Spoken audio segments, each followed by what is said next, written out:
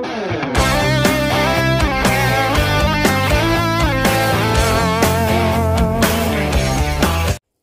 ngayon guys, magtulog tayo ng isda. Lagyan natin ng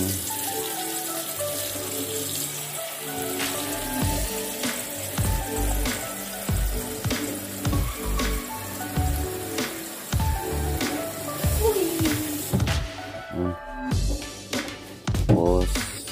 Sibuyas. Ayan. Lutong probinsya to guys. Ganitong luto lang namin dati sa probinsya. Ito.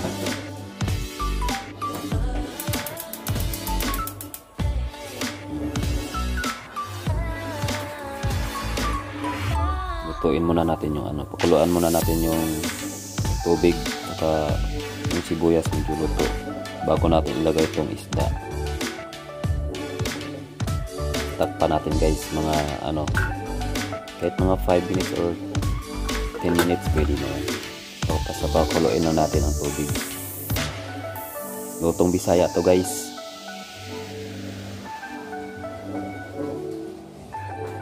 Ngayon ano.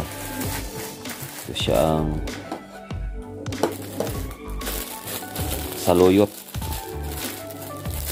Sayang walang ano malunggay. Mas masarap sana kung may malunggay. Kaya lang walang, walang malunggay dito eh. Naka-timing lang may saluyot nga ano kanina sa ano supermarket eh. Tinda. Ito. Paborito kong gulay itong saluyot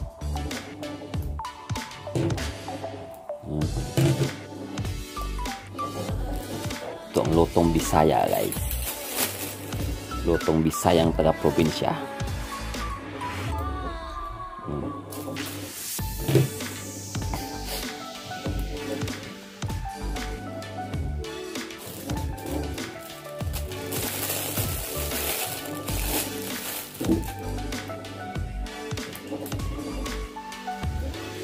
mahal din itong saluyot dito. 100 plus 150 yen. Samantala sa amin ito sa probinsya dinadamon lang namin ito doon sa ano sa damuhan. Pinapakain lang ito namin sa ano kambing at saka sa baka. Dito napakamahal. Iba talagang buhay probinsya eh masipag ka lang magtanim. Buhay na buhay ka. Kahit walang pira.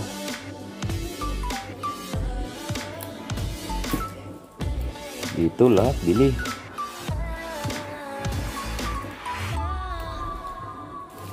Marami na to guys.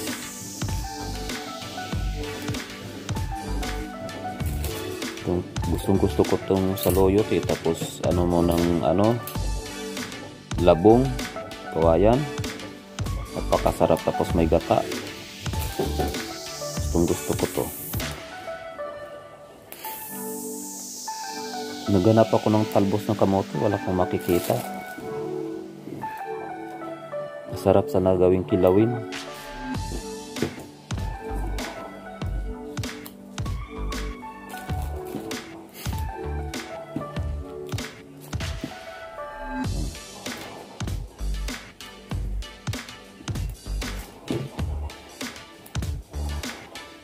marami na to. Ito na ano to. Magsawa na tayo dito. Yan mga kabisdak. Mga bisayang mga bisdak lang maka ano nito. Luto na to. Makarelate. Yung walang wala yung mga bisayang walang wala sa probinsya. Yun ganito ang luto namin. Simpleng luto pero masarap tapos yung kanin mo ano kaning mais. Napakasarap nito. Isa isabaw sa kanin. Kung sa ilong ko pa sampakit ang templada ya.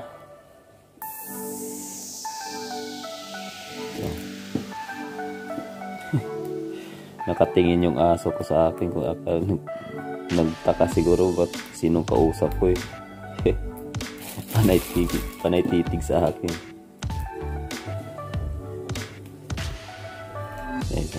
Yan marami na di ba? Hindi natin to isaling mga ano medyo matatanda ng dahon sayang din kasi tapon binabayaran ko to eh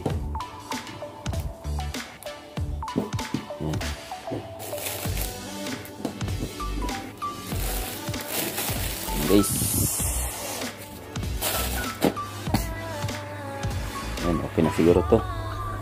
Yan kumukulo na guys. Ano na natin tong isda.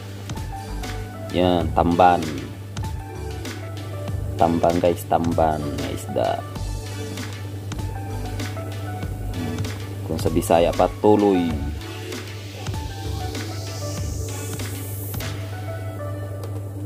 kung freeze lang to masarap to i ano eh gawing ki kilawin ikilaw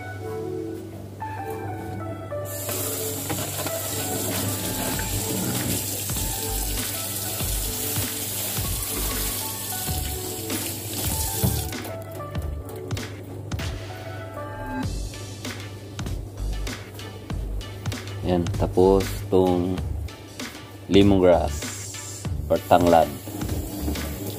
May tanim kasi ako nito guys eh, tanglad. Sa paso ko lang tinanim.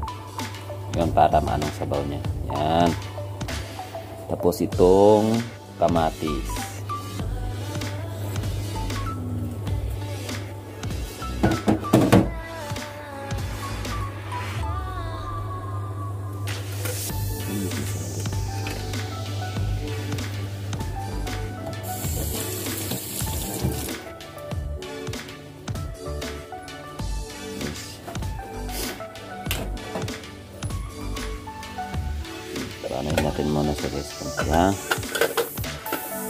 Ilang minuto bago natin ilagay itong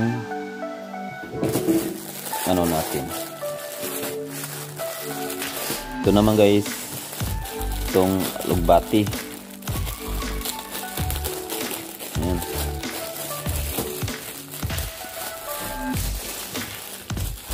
Totoo lang, malunggay, malunggay lang talagang kulang eh. Sayang kung may malunggay lang sana. Lalong masarap ang sabaw pag may malunggay.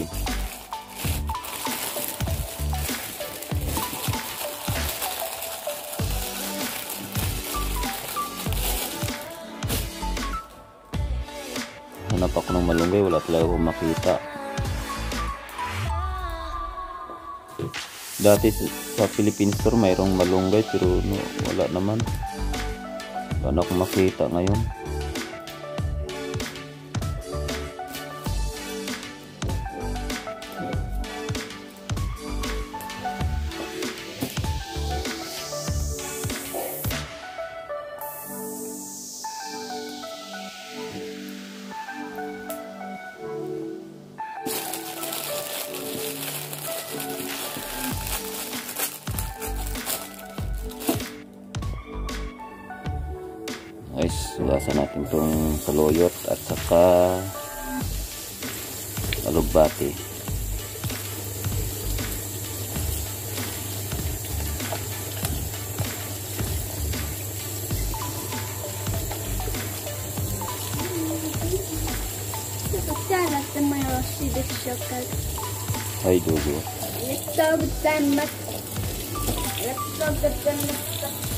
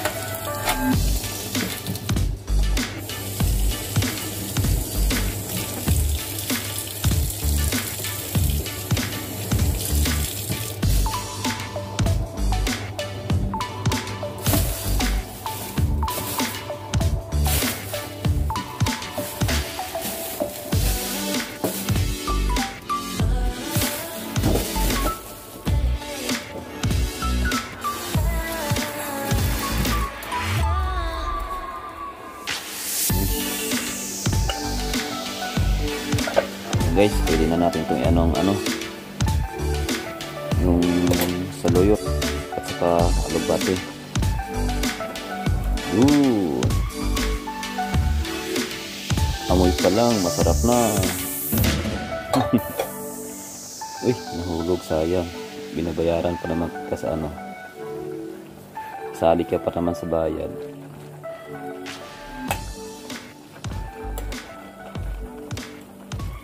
guys paanoin mo natin konti ha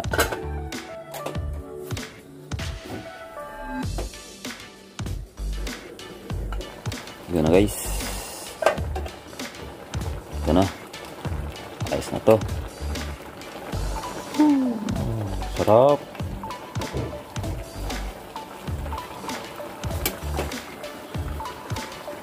Asin medyo mal ano guys ang camera natin malikot dahil nakasabit lang siya sa liig ko eh.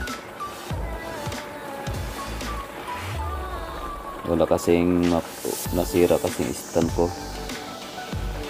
Hindi pa nakabili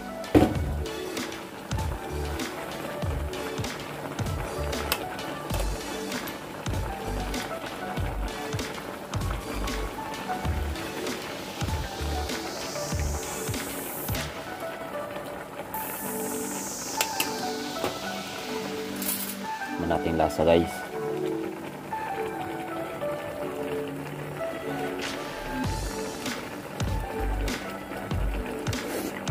Mm. kulang pa sa asin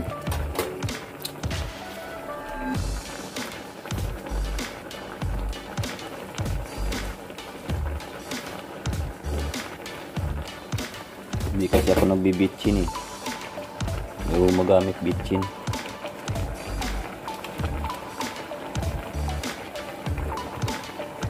hinaan nating apoy. Yan siloto na siya. Ano na natin yung absorb yung asin.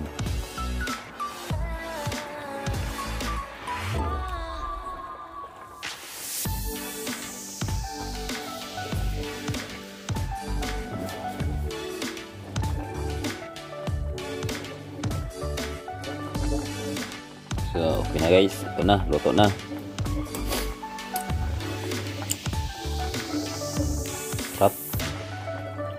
ng mainit na sabaw. Natin ulit kung okay ba ang lasa.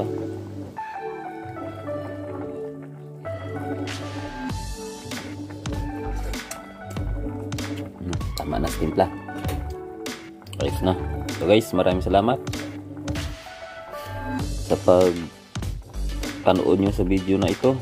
Sana nagustuhan nyo guys ang luto or sa hindi man maraming salamat pa rin sa pagpanood. Ito ang luto namin sa probinsya guys. Dati yung walang wala kami ganito lang kaagad. Walang maraming walang maraming sahog. Basta gulay asin kamatis sibuyas pwede na. Masarap na yun sa amin. Tapos yung kanin mo mais.